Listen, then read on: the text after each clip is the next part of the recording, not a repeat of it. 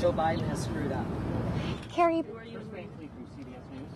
I just want just to follow up on this question, if I may. If Donald Trump announces as expected to be president and you win the governorship of Arizona, you're likely to be talked about as a VP candidate. Will you, do you plan to serve your entire term in Arizona, or are you open to being the VP? Are you new covering this race? Because we've talked about this before.